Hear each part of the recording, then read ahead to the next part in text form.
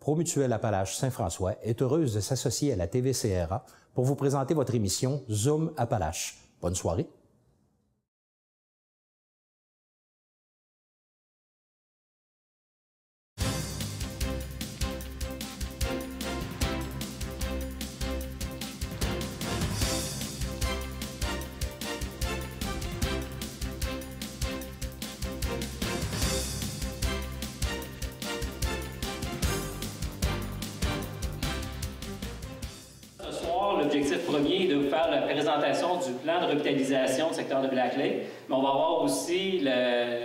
Le, bonheur de vous annoncer différents projets qui sont déjà en branle.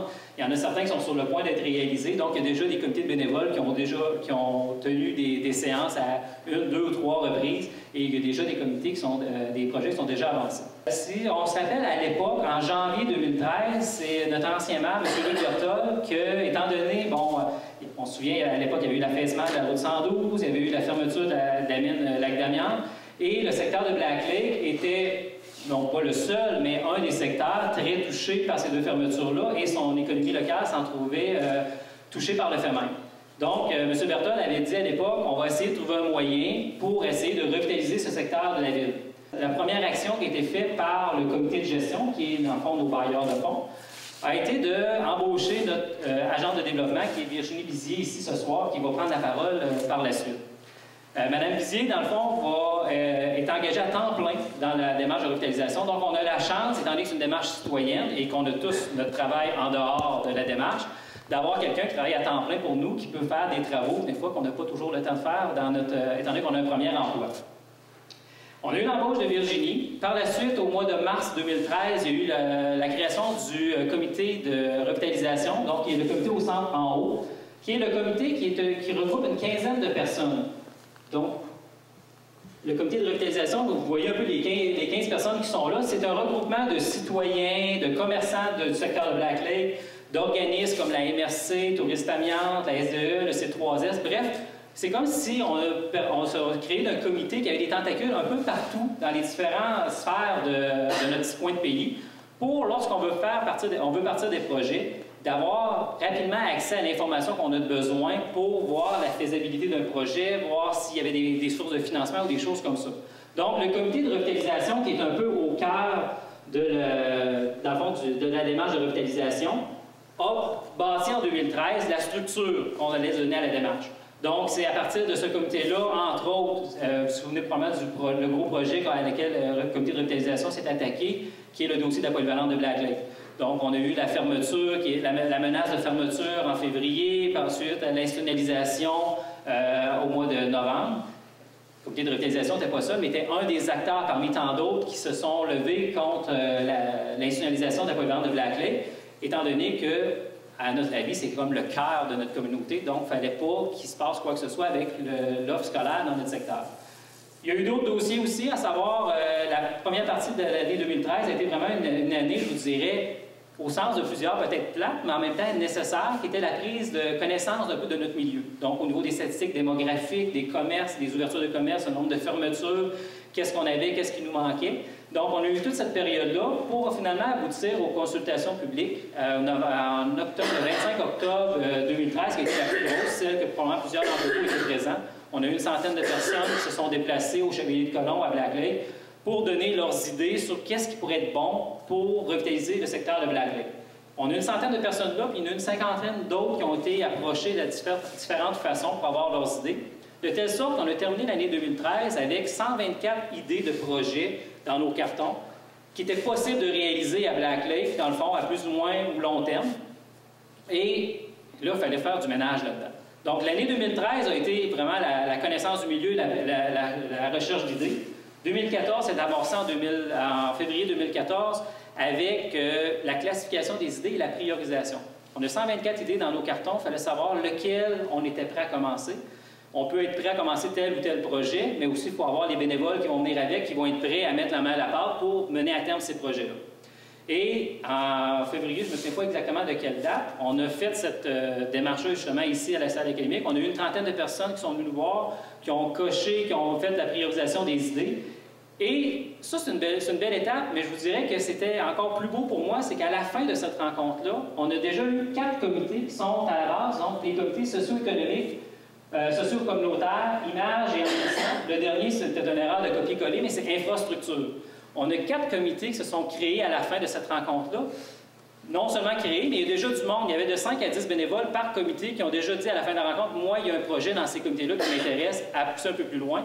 Donc, on a pu commencer à amorcer déjà des projets dès février 2014. Depuis, il y a eu, comme je vous disais, certains comités qui ont eu une, deux, trois rencontres, d'autres sont prochainement à venir. Et ça nous amène aujourd'hui, en, mai 2014, qui était vraiment dans nos plans initiaux de la démarche. On est vraiment dans nos temps, c'est ça qui était prévu, à vous faire la présentation de quels sont les projets qu'on veut partir. Mais ce qui est, le fun, étant donné qu'il y a déjà des réunions, on va pouvoir vous dire quels projets sont déjà en cours présentement. Donc, euh, la prochaine étape, euh, c'est la, mise en œuvre graduelle des actions du plan d'action. Euh, et là, c'est là qu'on a besoin de bénévoles, on a besoin de vous parce que c'est vous, les gens du milieu, qui allez faire avancer les actions, qui allez mener à terme, comme Yannick l'a dit. Puis, il, y en a des actions à court, il y en a des actions à moyen et à long terme. Le plan de revitalisation, ça se trouve à être un document euh, de référence, c'est un, outil euh, de travail pour les bénévoles, pour, leur donner des, pour les aider à mettre en œuvre les actions, mais également euh, ce qui se trouve dans le plan de, de, plan d'action, ce n'est pas nécessairement tout ce qui va, c'est pas tout ça qui peut se réaliser, ça peut, ça peut en être d'autres. Donc, une idée peut en amener une autre. Euh, et c'est pour ça qu'au fur et à mesure que le temps va passer, ce document-là va être mis à jour. Mon rôle, euh, pour ce qui est du temps à venir, ça va être d'accompagner les comités de bénévoles. Ça va être euh, ben, d'organiser les, rencontres, de faire des actions que, dont les, les bénévoles n'ont pas nécessairement le temps de, faire. Euh, donc, c'est beaucoup d'accompagnement. Je continue à coordonner les activités du comité de revitalisation.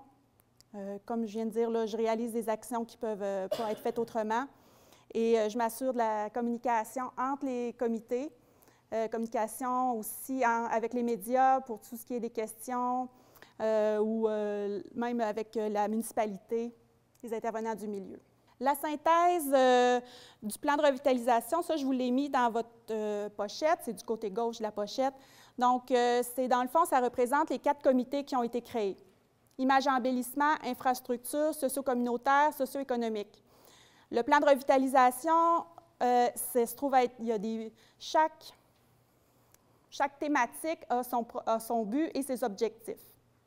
Donc, image embellissement, bien, ça va de soi, ça le dit, là, améliorer la convivialité et euh, la qualité des aménagements urbains en favorisant une image distinctive pour le milieu.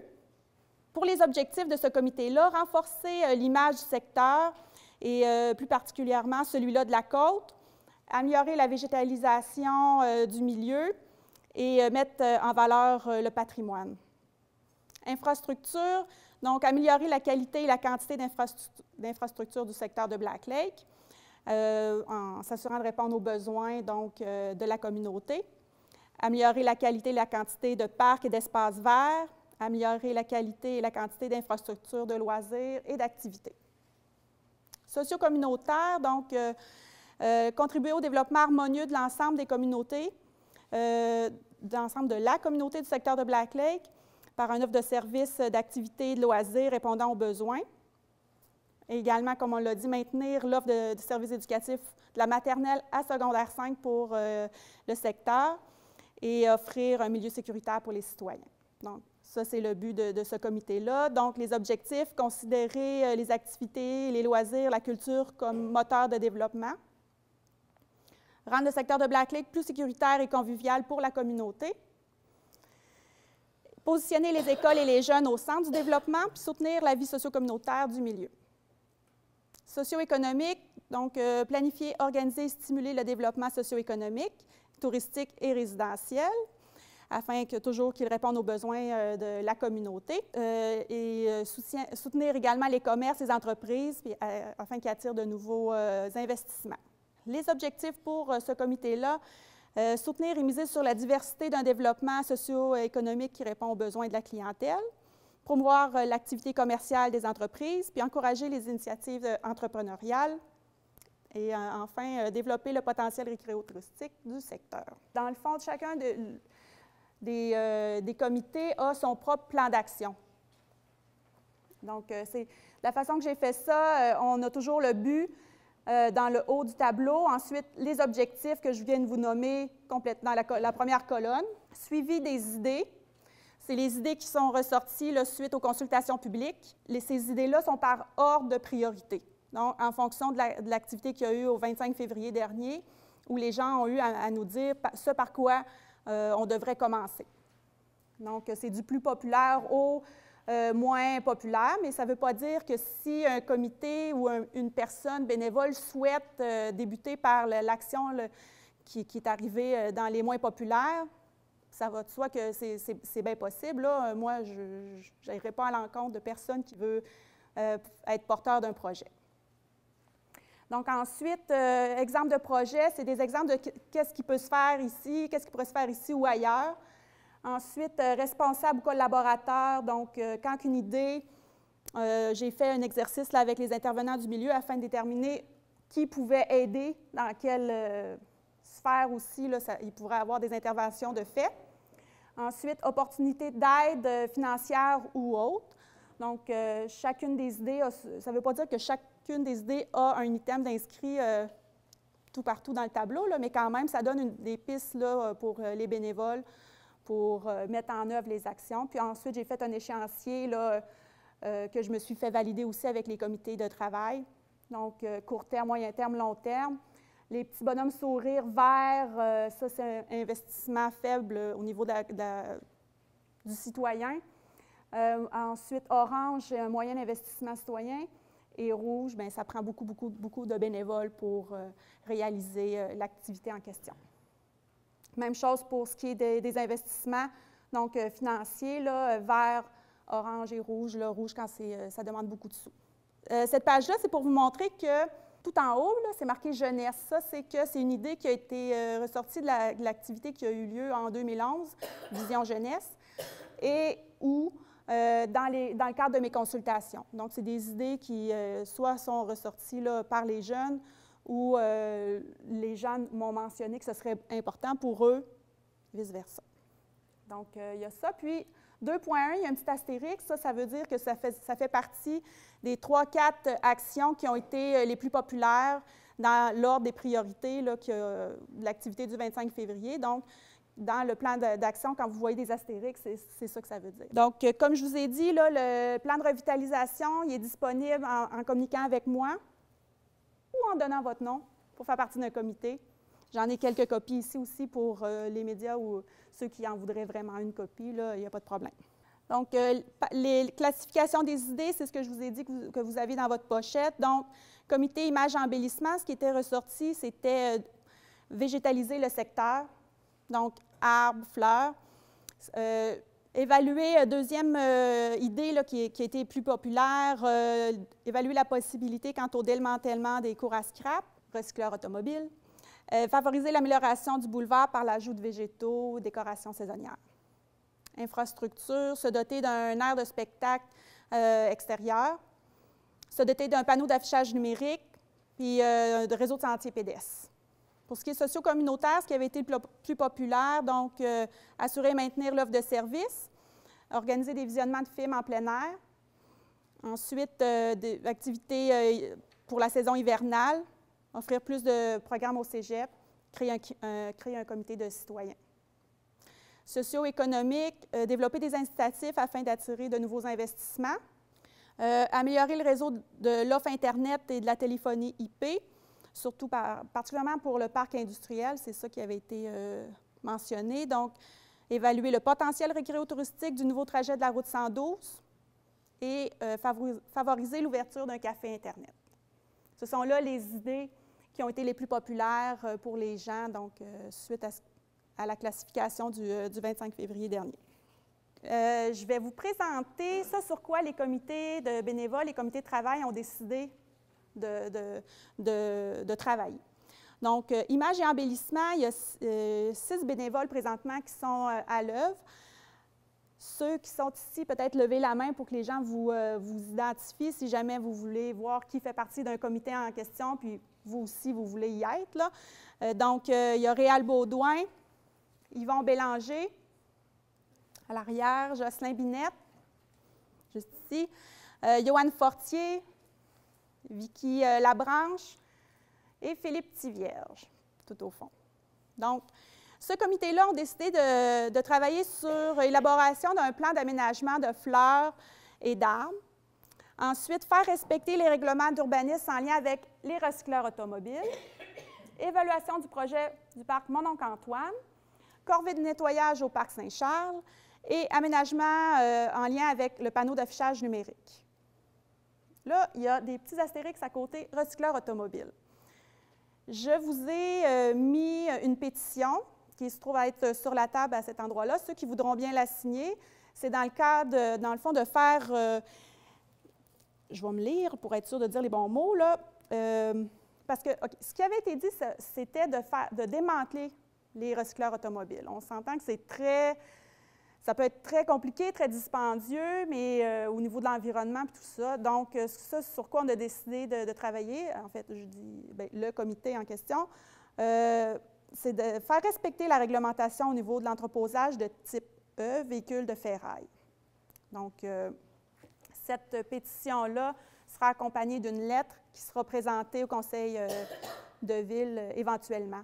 Donc, ceux qui veulent signer cette pétition-là, vous êtes les bienvenus. Ensuite, comité infrastructure.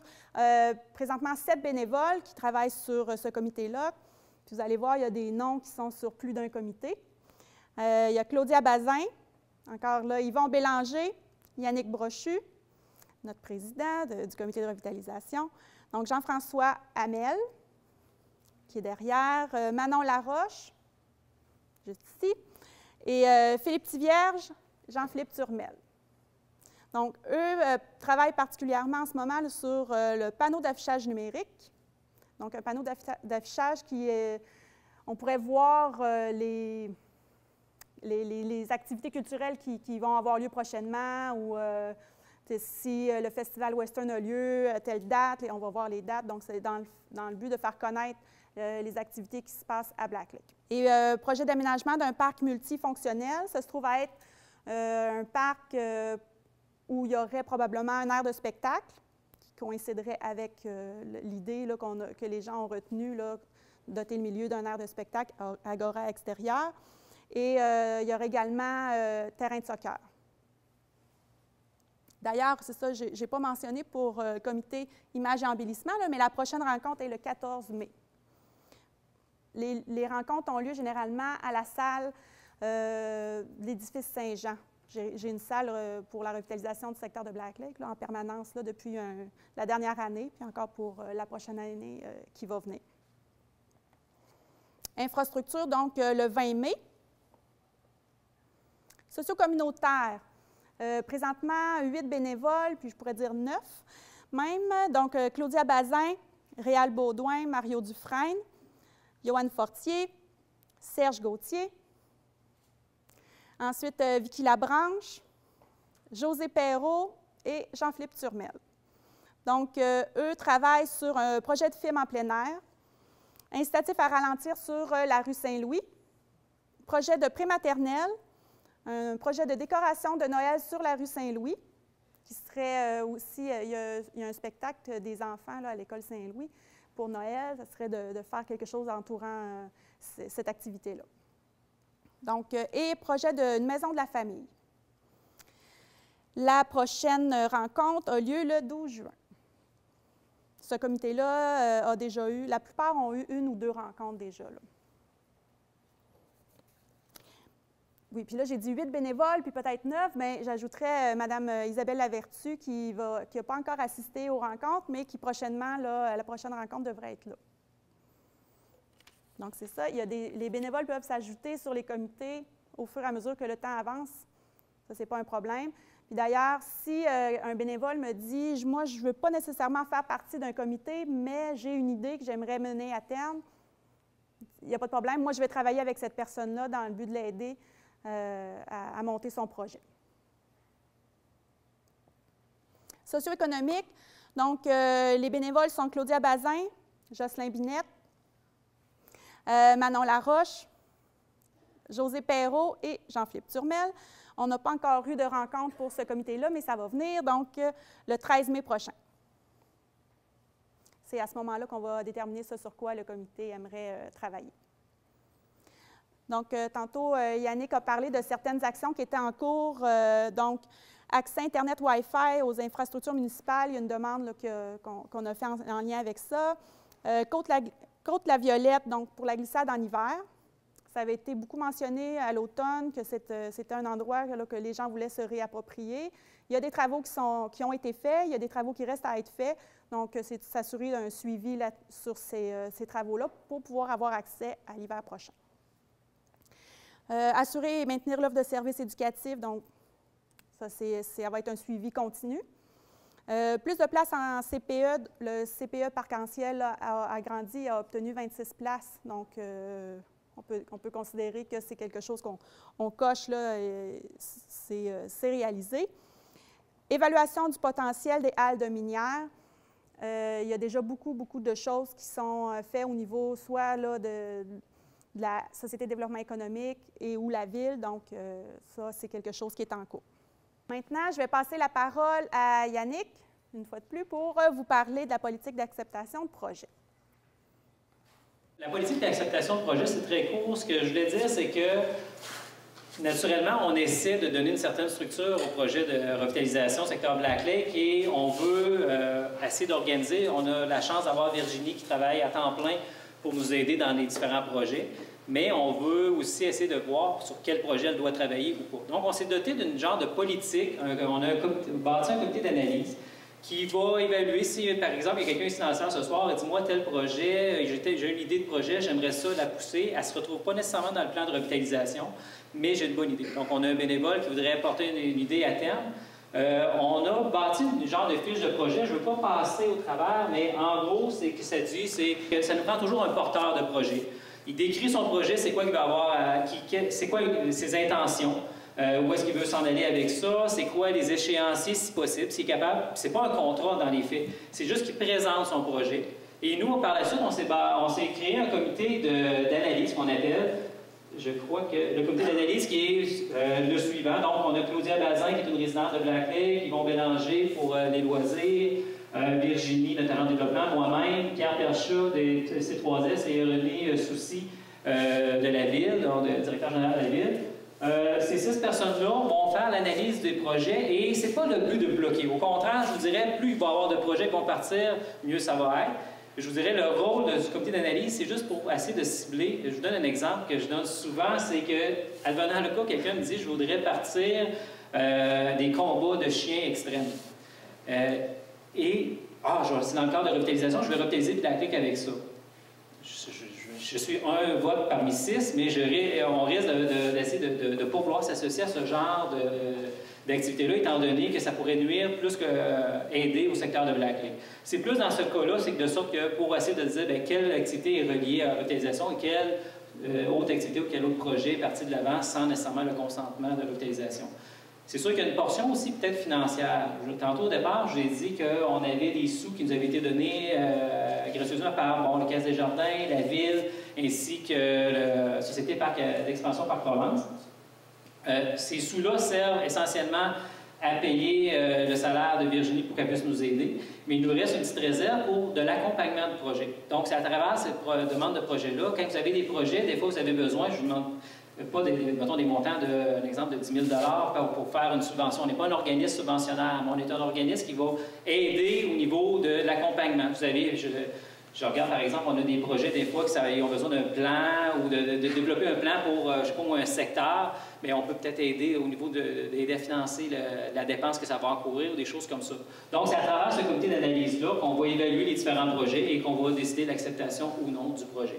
Et ça nous permet d'avoir vraiment, euh, j'ai juste le mot, euh, la liste des projets en cours complétés. Donc, éventuellement, on a des sous pour trois ans, dans le fond, pour les démarches de revitalisation. Donc, ça nous permet de faire un post-mortem à chaque année pour savoir qu'est-ce qui est en cours, qu'est-ce qui est, est parti. Avant de vous donner votre congé pour la soirée, j'aimerais juste attirer votre attention. Vous savez, euh, il y a beaucoup de travail qui a été effectué dans la démarche de revitalisation depuis un an. On est l'année 2013 a été vraiment l'année de développer les idées, de sortir les idées, qu'est-ce qui pouvait aider Black Lake. L'année 2014 est lancée comme étant le lancement des projets, le développement des différents projets. Euh, je, considère que tous ceux qui se présentent ici ce soir, vous êtes un peu comme des ambassadeurs. Vous n'êtes pas obligés, comme je disais, de vous impliquer dans le dossier, mais juste le fait de parler de la démarche, de, de, de, la faire connaître, c'est peut-être ça qui va nous amener d'autres personnes qui vont s'impliquer. C'est une démarche citoyenne. On a vraiment besoin de personnes qui pour s'impliquer. Et je voudrais attirer l'attention, puis ça, on a eu une discussion aussi la, dernière fois avec euh, M. Brousseau, notre maire, à savoir, on est vraiment chanceux à Black Lake, dans le secteur de Black Lake, d'avoir cette démarche-là. On, présentement, les autres, euh, c'est sûr qu'il y a une démarche de revitalisation qui se fait au centre-ville qui est un peu d'un autre genre, mais on a vraiment la chance, nous, d'avoir ça que d'autres secteurs de la région de Telford n'ont pas. Cette démarche-là, présentement, on a des sous pour possiblement trois années. On a déjà une année et demie de fait. Il nous reste encore un an et demi à, excusez, j'oserais dire, à profiter des services de Virginie pour nous aider dans ces démarches-là. Donc, déjà, si vous avez des idées, des, projets, vous avez le coup de vous impliquer, c'est le temps de le faire parce que là, on a de l'aide. Dans un an et demi, on va devoir voler de nos propres ailes, on va devoir peut-être continuer les projets, on va peut-être avoir notre air d'aller, mais on est vraiment privilégié, c'est des choses que les autres n'ont pas dans les autres secteurs de la ville.